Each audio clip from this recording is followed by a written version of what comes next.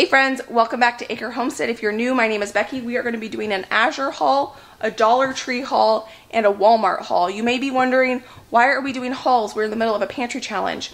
The number one reason is because I had to order chicken feed, and we're going to get into that in just a minute, and I had to order a couple household items through Azure. And when I was on the live, I had talked to you about that there were a couple things that were on sale that I wasn't sure if I was going to include in the pantry challenge if I was going to make an exception to buy things that were on sale because one of my biggest money saving tips is shop sales and when something's on sale stock up on it so you can save that money. And that's exactly what I did. So there were I think like six or seven grocery items that I did buy. Every single one of those things were on sale. I'm going to tell you how much they were on sale so that you can understand why even though we're in a pantry challenge I still bought groceries. But not one of these groceries is going to be touched during January or February because we're still in the challenge trying to use up what we stored up last year. Last but not least, we are going to do a ButcherBox haul. This is meat that I'm not going to be eating for the month of January or February. It's on a subscription, so it came during this pantry challenge. So because I documented every grocery haul in 2021, I want to document every grocery haul all the groceries that come into my house in 2022 as well. You guys know I buy a lot of my meat from local ranchers, but I can't get everything from local pasture raised ranchers. And I think ButcherBox is filling in that gap, the things that I can't buy from a local rancher. They do 100% grass-fed, grass-finished beef, which I am super passionate about. That's that is why I buy half a cow every two years or so. And they do organic chicken and crate-free pork. I just bought a whole hog, so I don't need any pork right now.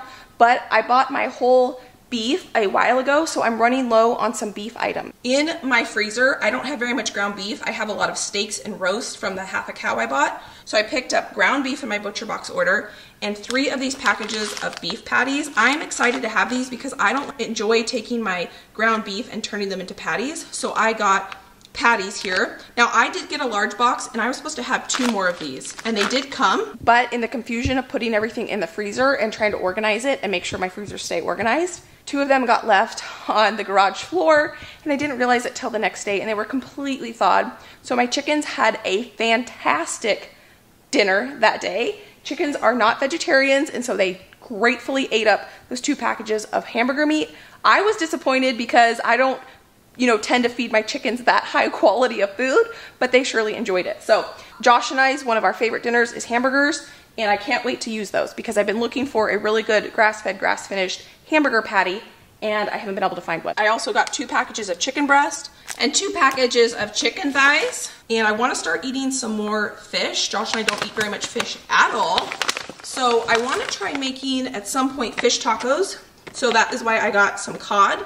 And then I got two things of Alaska sockeye salmon. It's wild caught. That could have been a very, very bad mistake because we don't eat very much fish. It's not our favorite. But for some reason, salmon has been sounding really good to me lately. So I got it. I don't know why I ordered two packages. I probably should have just ordered one because if we don't like it, that is going to be hard for us to get through. But I, I ordered it. My mother-in-law, she got her box and she said the salmon was fantastic quality. I haven't tried it yet, so I don't know. But I'm excited to have that and I am, for some reason, bummed that I have to wait until the end of February before I can dive into that which is weird because I normally, seafood is not normally my thing. But now I wanna move to the Azure meat that I bought. This is the first time I've ever bought meat through Azure, but this was on sale. This was 40% off. I saved almost $70 on this box and I bought two boxes. And I am so excited to find this. And this here is the number one reason why I decided to still purchase some groceries that were on sale through Azure, even though we're in this grocery challenge, because these are pasture raised chickens. They're whole chickens. There's five chickens in each one of these packages. And this price I could not beat. I cannot buy pasture raised whole chickens in my area for what I paid through Azure for this. So I bought two boxes, so I have 10 whole chickens, completely out of chicken broth. So I'm excited to have these chickens. So when I cook the chickens, I can take the bones and turn them into bone broth and can that. And that is why I wanted to get some whole chickens, not just to have pasture raised chicken meat, but also so I can make some pasture raised bone broth and get that canned and put into my pantry. In my area to buy pasture raised chickens, it's about $6 or $7 a pound. And I paid just over $5 a pound for these chickens. And to buy pasture raised from a farm, just chicken breasts, it's almost $12 a pound. I cannot afford to pay $12 a pound for chicken breast.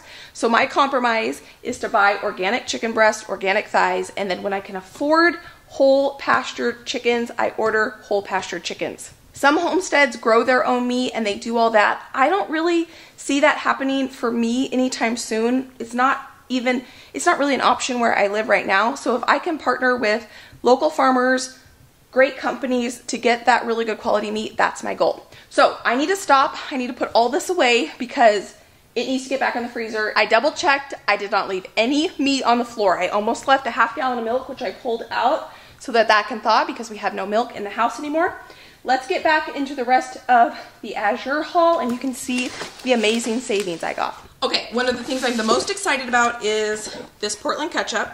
This is the absolute best ketchup in the whole entire world. If you've never eaten it, I really want to encourage you to try it. This ketchup at my local Kroger is $5.55 for one bottle. Because it was 9% off, I paid just over $3 a bottle. This stuff is out of my price range normally, but if I can find it on sale, sometimes they have it at Costco, I will buy it and I went ahead and bought 12. That means I can use one a month and that is awesome. I made my own ketchup two years ago, the first year we lived here, and it was okay. I did not peel the tomatoes or seed the tomatoes, and so I don't do that for my spaghetti sauce, but when you make ketchup, you need to do that. So I didn't make any ketchup this year because I had enough to get us through, but when I saw this on sale, I went ahead and bought it. So I'm probably gonna attempt to try to make ketchup this year, but I'm going to peel and de-seed my tomatoes. Now, I want to be honest with you. I bought the Portland brand Worcestershire sauce or Worcestershire sauce. I don't know, a couple Azure hauls ago, and I was going to let you know how I liked it. I did not like it. It was too sour, and I just prefer the original one with that comes in the paper bag. So I probably won't ever buy the Portland Worcestershire again, but this ketchup is a game changer. Be careful if you start buying it because your family will only want this ketchup. I bought 25 pounds of semi-sweet organic chocolate chips. These are fair trade, I believe, 11% off. So I saved a ton of money on buying this 25 pound bag. The next three items were 10% off. This is white wine vinegar. I don't have any white wine vinegar in the house, so because it was on sale, I went ahead and bought it, and it is organic. Grapes are one of those things that, you know, if you can buy organic, you want to. And then I got a case of tomato paste. I like this tomato paste because it's in a jar. I've never used it before, but I don't like to have tomato products in tin cans because tomatoes are very acidic and even if they're lined tin cans, they say that that can leach into your tomato product. That is the number one reason why I started canning when I first started canning was I was reading about the health concerns around cans and tomato products and I wanted to can my own tomato products. You can easily, probably wherever you are, you can find a local farmer in your area if you don't have a garden. Buy a bulk amount of tomatoes and learn to can them. That was the first thing I canned. It was, I think, my 24th birthday. I asked my mom for a canner and I got my ball canning book. That is what got me into the world of canning, and it is a really fun world to be in. So I'm excited to have these. I bought a 25 pound bag of organic basmati rice. We don't have any basmati rice in the house and I'm excited to get organic rice and that is why I bought 25 pounds of that. So the household goods that I had to get through Azure were some laundry detergent. I am almost out of laundry detergent and I thought I would try something new. I have seen people use this online, but I have personally never used it. You can buy it in a 60 pound bag, but I figured since I'm new to it, I'm gonna buy a smaller bag. It's HE efficient and it's okay for septic. So it's a powder, it's not scented. It's supposed to be a, you know, more like healthy, natural type of detergent. So we're gonna give that a try. I haven't used a powder detergent in a very long time. So yeah, I'll let you know how that goes. I bought eight bags of chicken feed. These are 40 pounds each. I bought these for the first time, I, I wanna say probably four, five months ago. They go through about three-fourths of a bag a month and I can tell that they prefer this organic chicken feed as opposed to what I was buying at my local feed store. The stuff I was buying at my local feed store, it, it wasn't organic and it was in a plastic bag. So this is something, the reason we were buying that is because we were saving to put a new roof on our house and we finally have the money to do that. So because I have a little bit more room in my budget, I decided to go ahead and go with this organic chicken feed. It's soy and corn free and it's in a paper bag. So it's definitely a little bit more of a greener option because I can, you know, recycle these bags or they'll compost, no problem. And I really don't enjoy buying chicken feed. It's one of those chores that are just not my favorite thing to do. So I figured I'm gonna buy eight bags. I'm gonna go big. I'm going to haul these into the chicken shed and then I don't have to worry about it for a while. So that is why I ordered, I think this was about 200 and $50, maybe a little bit more in chicken feed. I also like to look at this as food insurance, just like I like to have a stock pantry for my shelf. For myself, I've said that probably 10 times. Josh was poking his head around the corner. Um, I want to have a well-stocked pantry for my chickens, so now I don't have to think about chicken food for quite some time. And then we have a Dollar Tree haul here. It is February just around the corner. Valentine's Day is coming up. We are gonna do a huge cooking Valentine's Day candy making day, just like we did for Christmas. So I needed some good goodies to package up those goodies that we're gonna be creating together. Let's do the Walmart haul because it's pretty small. Because this is for a gift, it's not included in the pantry challenge because I'm gonna be packaging up the cookies and candies and giving them to friends and family. I needed M&Ms for one of the recipes we are going to be making. Also coconut. I needed this amount of coconut plus the coconut I already have in my house to make some recipes. At the end, we'll go over what those recipes are because right now I can't remember off the top of my head. White chocolate chips, some marshmallow fluff. This is the first time I've ever bought it, but we are going to be making a recipe that needed it. And now this is not enough peanut butter. We're going to try to make homemade Reese's, or it's kind of like a peanut butter cup, and I'm going to need more peanut butter than that some of the turbinado sugar and I bought this. This is um, I, this is a Pro Glow. I don't know if this is my right color or not. This right here is why I think it's funny that you want to see a hair tutorial because I literally also bought a thing of foundation or cover up, I don't even know what it's called, at the Dollar Tree because I'm not into like the beauty world at all. This is probably terrible for me. It's probably got all sorts of chemicals in it but I don't know anything about makeup. It's not my wheelhouse.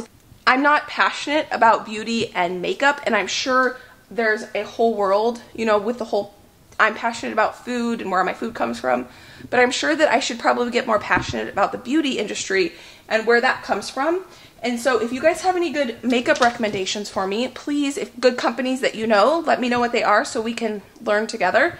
But for now, I bought some foundation at Dollar Tree today and some foundation at Walmart.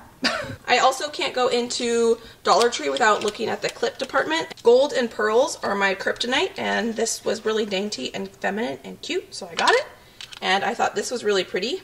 Oh I got these at Walmart too because I'm working on trying to streamline my cleaning of my bathrooms and so I wanted to get just some cheap, I think this whole package was like $4 towels that these are just going to be for cleaning the bathroom and I know these are for cleaning the bathroom so that is what that is for.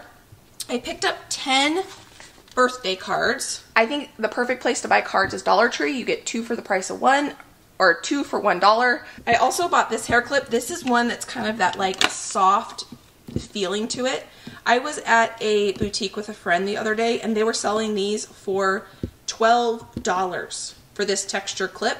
So I got that for $1 and we'll try it out. I got myself some seeds because you know, 25 cents a seed pack. It's hard not to walk by and not buy them. I bought a whole stack of cilantro, some basil. I got a couple different flowers that I didn't order in my seed orders that are coming here pretty soon. And I'll share with you all the seeds I bought. And I bought a cantaloupe. I don't know if I'm actually even going to plant this because I don't know if I could get cantaloupe to grow in my area, but for 25 cents, I thought I would just buy the seed packet and then if I decide to plant it, I do. But I'm going to only be out 25 cents instead of like $3 for a seed packet. So if you want to know where I buy my seeds, I can link them down below. This is just kind of a little extra that I thought I would just buy while I was at Dollar Tree. I bought two of these fun tassel garlands because a lot of the cookies and candies we're going to be making are going to be going to my husband's work and I wanted to decorate the table. That is also why I bought balloons. I wanted to blow one up so I could see what they look like, but I thought they were super cute.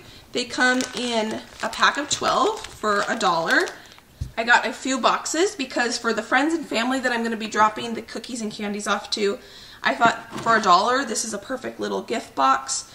They came in this like pretty rose gold pink color, red, silver, and when you go to Dollar Tree, these come in a bunch of different sizes. They're all the same price, and I always go with the biggest ones. I bought these when we did our Christmas cookie decorating day and they were perfect. I wish I had bought more then, so that's why I went ahead and stocked up. I got two different muffin tin liners. We got gold. We might be using these for my sister-in-law's baby shower. I'm responsible for making the cupcakes. So I might, if I don't use these for Valentine's Day, I'm going to use them for that. And then some red ones. And then whatever I don't use, if we don't make cupcakes, because that wasn't really on the list, I'll just make muffins with those. I love buying tissue paper at Dollar Tree, so I got two packages of just the white 35 pack. And then I bought these because they had gold hearts on it. They were super cute, and we're gonna use these along with this tissue to fill our boxes. So this was probably not as good of a buy because we only got six sheets for a dollar as opposed to this one we got 10 and these ones we got 35. But I figured if I don't use these for Valentine's Day because they are just plain gold hearts, I could use those for a different, you know, like birthday party or birthday gift or something. And then I skipped over these, going back to trying to make my cleaning products work better for me in the bathrooms. If you watched my last grocery haul, I bought a bunch of cleaning products so that I could have the exact same cleaning products in every single bathroom and in the kitchen. Instead of them just being in the cabinet loosey-goosey, it's not working for me because I keep my towels down there too and it's just not working for me. So I thought, and I wasn't sure which size I wanted, I would get these containers so I can put the cleaning products in these containers underneath the sink and I can pull the whole container out at one time, clean the bathroom or touch up the bathroom and see how it goes. So I wasn't sure what size I wanted, so I bought two different sizes and we'll see how it goes. I'll keep you posted. Friends, I want to go over what we are going to be making for the Valentine's Day cookies and candies day, but I have to pull it up. I found all of these recipes on Pinterest, so these are not my recipes. Let's see. Okay. The first one we're going to make are these sugar cookies and they are just absolutely stunning and beautiful. I already bought the cookie cutters for them. It's basically a shortbread cookie with jam on the inside and we have plenty of jam around here. We are gonna do a peanut butter Valentine's heart. So this is kind of like a copycat Reese's peanut butter cup. I think that's why I'm gonna have to order more peanut butter. We're gonna do German hazelnut macaroons. These do not have a frosting, but I might try to make a chocolate ganache frosting. I've never made macaroons before, but I think that the hazelnut with the chocolate just sounds really good. I mean, that's basically Nutella flavors, right? We're gonna make mocha truffles, and that is why one of the reasons I wanted to freeze dry that coffee so we can make it with homemade freeze dried coffee. We are gonna make homemade marshmallows. This used to be a staple. I used to make marshmallows every single Valentine's Day, and I haven't made them in forever. So I'm excited to do that with you together. Marshmallows are surprisingly very easy. And it's one of those things that you think, how in the world are marshmallows made? And when you make them for the first time, you feel super empowered. Super empowering to make your own marshmallows. And then I also thought this chocolate marshmallow cookie would be really good as well. This is why I had to buy that marshmallow fluff. I probably could have looked up a recipe to make my own homemade marshmallow fluff, but it's already gonna be a very busy day, so I thought if I'm gonna make homemade marshmallows, I'm going to not make homemade marshmallow fluff. But I'm sure homemade marshmallow fluff is probably easier than marshmallows, but that is that. And then I've been browsing around looking at some other recipes that we might play around with. I'm not exactly sure. And I'm not sure if we're going to do separate cookies and candy day. Let me know if you want to see the cookies and the candies in separate videos. That worked really well with the Christmas cookies and candies. If you're interested, don't forget I will link ButcherBox and Azure down below. They're companies I strongly stand behind. I hope you found value in this video and that you were encouraged or inspired to maybe try to cook something from scratch or do a pantry challenge, even though we're doing a pantry challenge and I just show you my groceries. But this is how I save money. I save money by buying things when they're on sale. Like I said, we're not gonna be eating or diving into any of this stuff except for the Valentine's Day cookies and candies. If you guys have any tips or tricks for me, please leave them down in the comment section. I learn so much from you guys reading those comments. I can't even tell you how grateful I am for them. I, I just, I love them. I love sitting down and reading them. If you're wondering how I cook with all these bulk items, I will leave what we eat in a week pantry challenge week one up here and week two down here. You can go check those videos out. If you guys are new around here, please consider subscribing. If you enjoyed this video, please give it a thumbs up and I cannot wait to see you next time. I hope you guys are having a great day. Bye guys.